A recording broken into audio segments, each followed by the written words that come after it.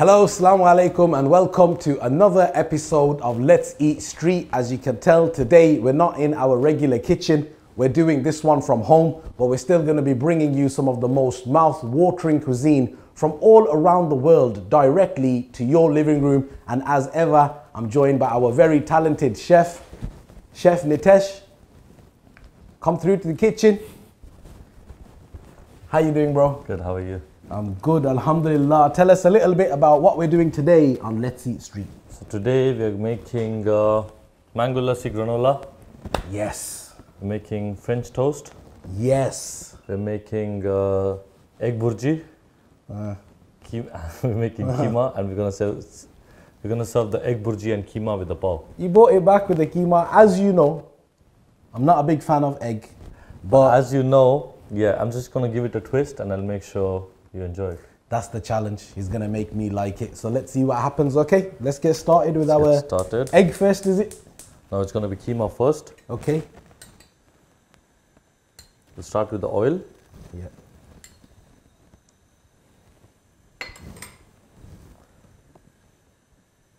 Feels different, doesn't it? Not in our regular kitchen. That's a little. I didn't even have to dress like this, but I just like dressing like a chef, so bought my apron, got my hat. You know, Once the oil is hot, yeah. we'll start with a little bit of cumin seeds. For ginger, garlic.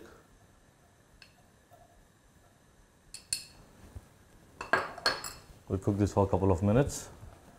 Are you gonna have anything for me to do today? I do have it. Once we're done with the cooking bit, yes, I do have a lot of things for you today. You're gonna assemble the mango lassi granola for me, and uh, you're gonna make the mixture for the French toast, Okay. uh, and then yeah, The sort of things that we've got on today's show, it's sort of breakfasty things, but this is the type of thing that you can try for sahur as well. yes, and I uh, guess we maybe are in also Ramadan. we're also gonna be making masala chai. Oh wow. There you go. Yeah. Perfect breakfast, or you can have it for your sahur as well. Lots of different choice for you guys today. There's lots of things here on the counter. I'm still trying to figure out what we're gonna do, but I'm sure it's gonna be good. As you can see, the ginger garlic has now gone a bit golden. Gonna add, Getting nice Onion. and brown. yeah, Yep.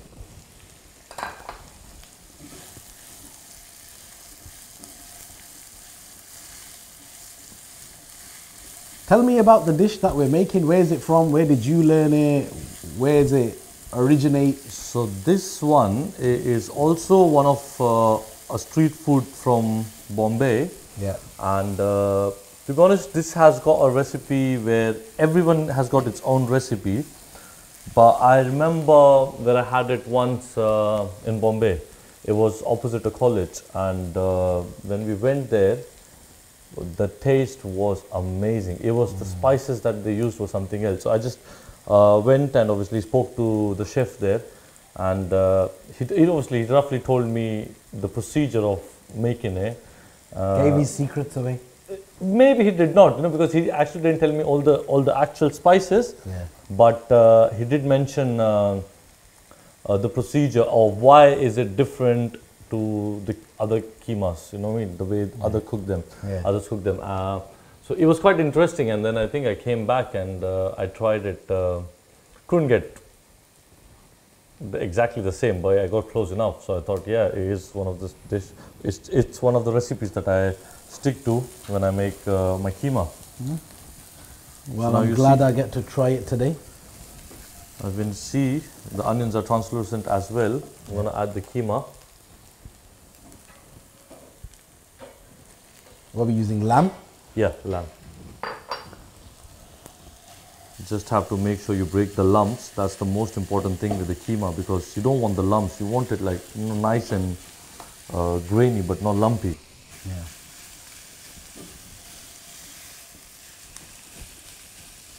obviously to break the lumps there is what you can also do is the whisk the actual whisk if you keep mashing it with the whisk, Yeah. then yeah, the lumps go. And the other thing is what you can also do is with a fork, you can keep stirring it with a fork, and then yeah, that will also help you uh, to break the lumps.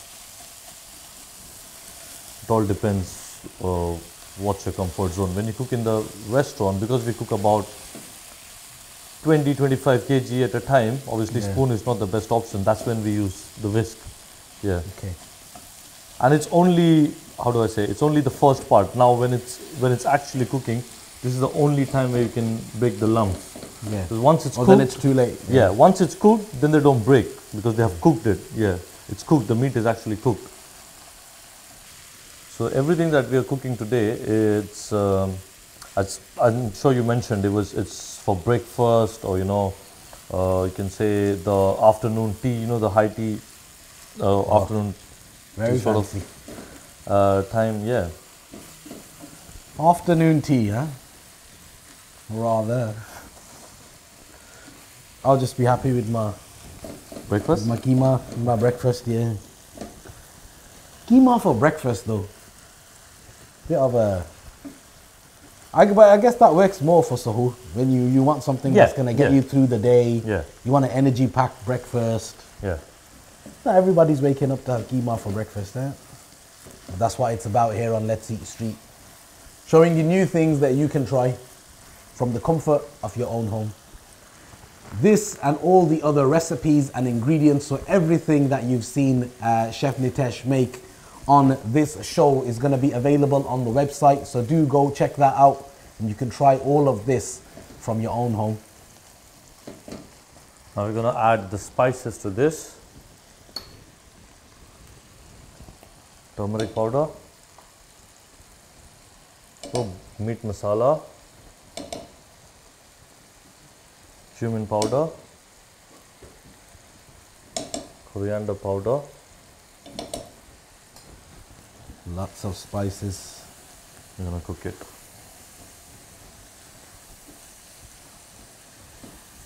So normally what people do is one of the one of the ways where people cook is they cook the onions, they cook the tomatoes, and the last thing they add is uh, the keema. Yeah. So that's what this uh, chef was telling me that you know if you put the spices straight onto the keema, Yeah. it absorbs more Soak them all up, yeah. uh, masala Yeah. and uh, yeah that's what uh, helps to enhance the taste of the dish Brilliant. so we're going to cook this in a slow flame Yeah. so now if you see the keema is nicely cooked can you smell it Yeah. yeah It's coming together. Getting the smell. Now we- we're going to add tomatoes to this Yeah. a little bit of green chili It's a little bit. and we're going to leave it on a slow flame on the other side While we Yeah. crack on with with the burji the burji.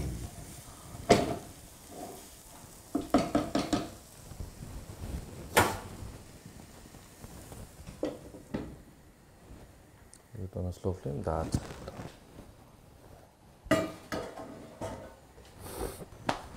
Perfect. Now let's start with our burji. So again, start with the oil.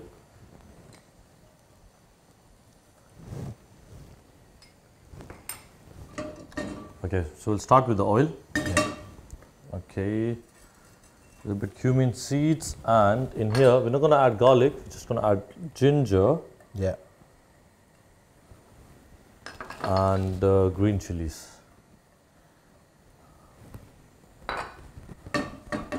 So we'll wait for this. This is basically it's gonna be like a scrambled egg. It is. It is. But it with other things egg, added in there. Yes, it is. Yes.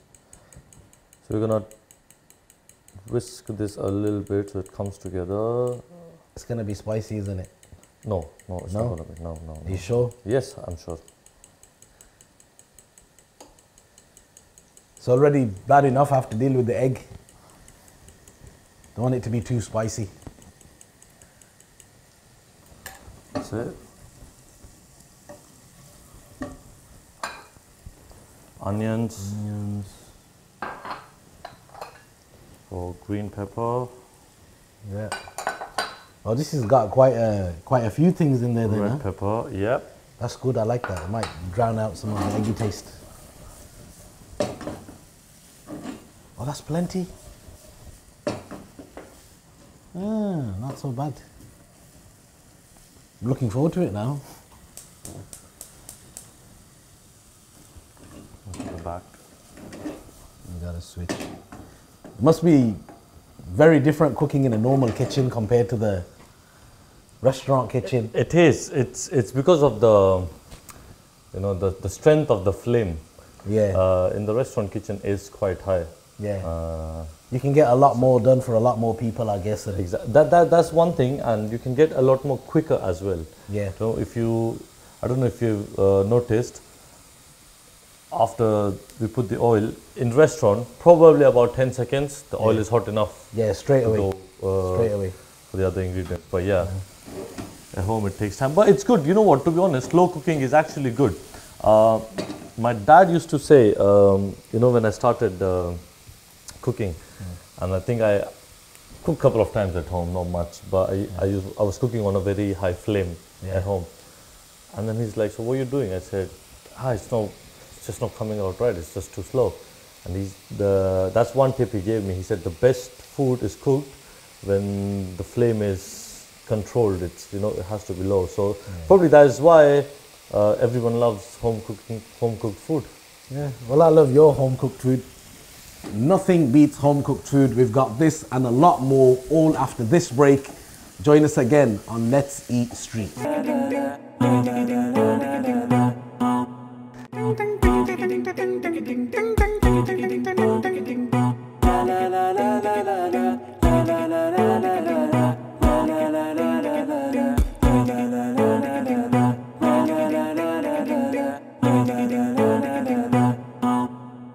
Welcome back from the break. We're halfway through our egg burji.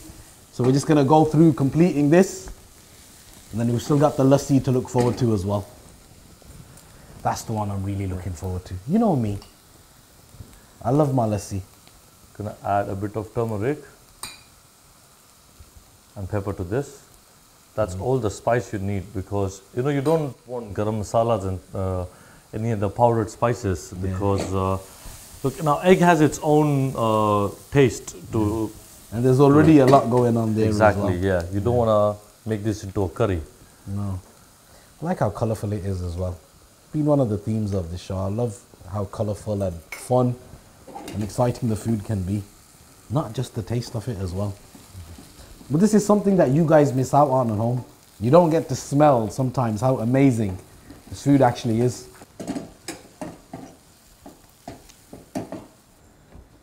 If you see the egg has all come together, Yeah. just gonna finish it with a little bit salt mm-hmm. and butter. Butter. Butter. Say in a Birmingham accent. Butter, Butter. butter. Yeah. He's getting it. So we're done with the burji. We'll just wait for the butter to melt. Butter. Butter. And finish it with coriander. Of course. So as you can see, the butter is nicely melted as well. We'll just keep this aside and we'll start with the mango lassi granola. Well, hey. Right. What do you want me to do? Our burji is ready. So let's uh, start making the mango lassi granola and I want you to make it for me. I'm here. I'll get all the ingredients for you in a bowl, Yeah. but that's your real taste. You mm. have to make sure Yeah. the yogurt is blended in very, very smoothly Yeah. So with the mango pulp. we got a yogurt, a mango pulp. Mango pulp. Yeah. Anything else for now?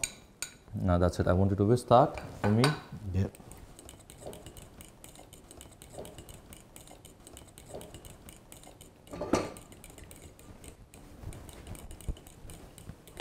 That looks good. That looks You- like the best you- whisking you've ever seen. That's what that yeah, you know like. what I thought you will come. You'll there Why might be it some more when lumps. It's perfect. I'm just checking, just making sure it's right. Okay, come. We'll move here. And we'll add some icing sugar. Now the reason why we are adding icing sugar, you can add sugar as well, but what happens is when you mix the sugar, it gets a bit runny. Yeah. So that's the reason why we are adding icing sugar because then it will give you the sweetness as well. Plus, it will let the consistency of this uh, dish be a bit thicker. See, we're getting all these secrets out. Now we're gonna add fruits to this. So we go honeydew melon, we've got green grapes, red grapes, berries, and strawberry. So now, to be honest, this you can add whatever fruits you want. It's entirely up to in. you. You can add apple, pears, oranges. It's it's entirely up to you, whatever you fancy. Put it all in, bro. As you can see, I'm proper healthy and that. takes a lot to maintain this figure, so just throw it all in. So that's all done. Lovely. That's all done. So we're gonna leave this here, and we're gonna start with our French toast. And I'm gonna start making the tea. Tea, not just any tea. It's masala chai. This is masala chai. Now add water, Yep. milk. What water to milk ratio do you use? So I use three fourth milk and a quarter water. Okay. Yeah, so three to one. Yeah. Go cinnamon stick, some ginger over here, which I just need to crush a little bit. So you can normally chop the ginger as well, but I believe when you crush it, you get more uh, stronger flavor. Another key thing which I prefer is I prefer my milk to be boiled before I add the tea bags. Okay. Because otherwise, I believe uh, the tea might boil, but the milk in it might still be raw. So I make sure So my milk is boiled. gotta boil it, put the tea bags in, and then reboil it again. Exactly. Okay. So in that way, I know my milk is cooked, Yeah. and then when I put the tea, it's boiled again, so the tea is properly brewed as well. Okay. I've got yeah, that's for you. Thank you. I've got egg in here. Are you gonna do it? Oh, let me do it. I was gonna get it out the way for you. I've got milk in here. So I'm just whisking again, Yeah, yeah? you're gonna whisk it again. I've got a bit of sugar in here. And a touch of cinnamon powder. That's it. With a little bit of oil. Don't need too much oil in here. We just need to sort of make sure we get a nice sort of crust on our bread, and that is why we need a little bit of oil. All right, you show me Yeah, first. I'll show you one. Yeah. Both the sides. Take it out, and there you go. Flip it round. Boom. Perfect, not bad. Do you want to try two more? Okay. you can tell how little I do at home by how excited I get getting little jobs Yeah, like this. Perfect. I think that's that's enough. Cook it normally. It might take about on a medium flame. It should take about one minute each side. So tea is boiling now. Gonna add sugar to this and tea bags. We're gonna wait for another boil. And I'm gonna flip the brioche buns now. You see it's got a nice color to it. Yeah, just gonna cook it on the other side. Beautiful, that's done. I think we've got everything ready and we'll start plating up now. Gonna plate our egg burji.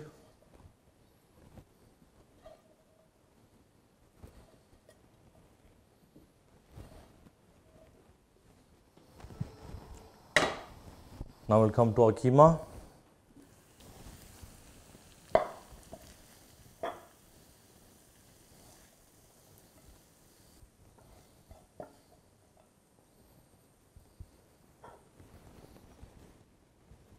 Finish them with a little bit of coriander. And that's there. Gonna finish our French toast take Nutella, spread it onto the bread, stuff it with strawberries, and there you go. Gonna do the same the rest of them.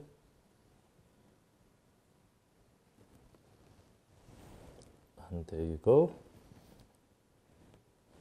That's your Nutella French toast ready. And finally, we'll serve uh, the tea.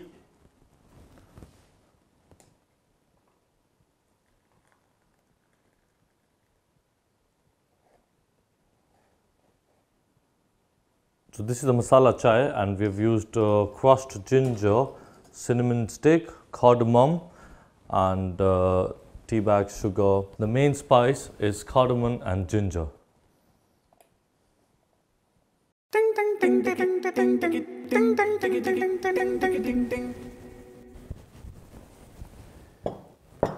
Got our egg, got our keema. That's our mango, yeah? Yeah, mango lassi granola. Are all dishes that we can have for breakfast. And what I'm saying is, in Ramadan, I think this would make an absolutely perfect suhoor as well. You've got your carbs, you've got some proteins, you've got something sweet. What am I gonna have first? Ooh, I'm gonna go for one of these buns.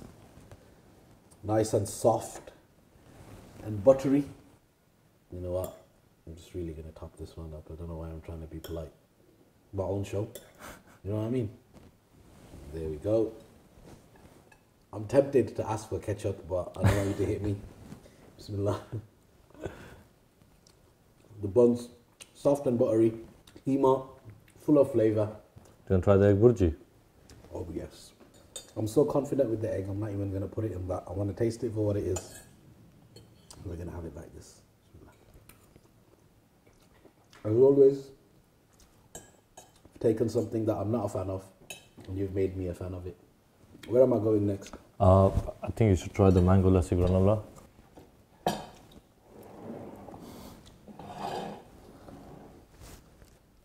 This is my breakfast right here. This is gonna be my thing. And this mango lassi granola, as well as everything else, you can find the ingredients, the recipe, all on the website. Inshallah, you can be having this for your suhoor or for your breakfast. Last the French toast. but not least, thank you. I don't know where to tackle this from. Just gonna go in. That for me is the perfect combo. Strawberries and chocolate. So good, it'll make your hat fall off. Mm. And finally, to wash it all down, we've got our masala tea.